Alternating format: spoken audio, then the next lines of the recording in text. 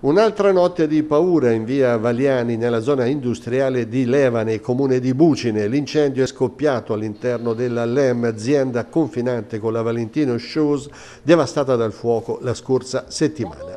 Le fiamme sono state avvistate intorno alle 20.30. Da 40 minuti la produzione si era fermata.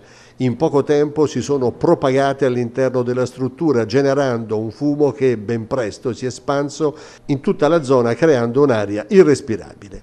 La LEM è una galvanica che produce accessori per aziende del settore moda una dei fiori all'occhiello del nostro tessuto economico con oltre 200 addetti e con un indotto di altri 200 lavoratori.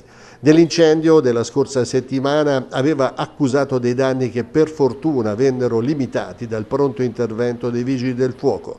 Non ha parlato stamani il titolare che ha delegato il responsabile dell'area comunicazione. L'azienda è un'azienda a conduzione familiare che fa riferimento a Daniele Gualdani e tutti gli si sono stretti attorno in questo momento. Che persone sono state adesso fermate?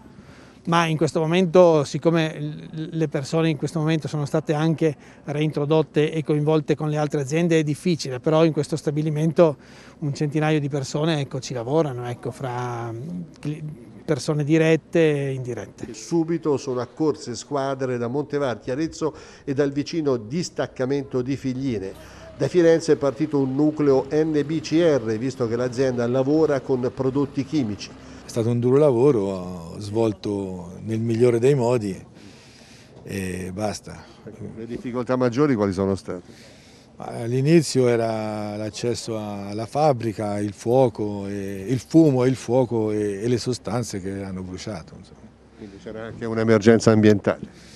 Sì, che poi è stata contenuta, quindi non c'è stata nessuna, nessuna, nessuna emergenza ambientale.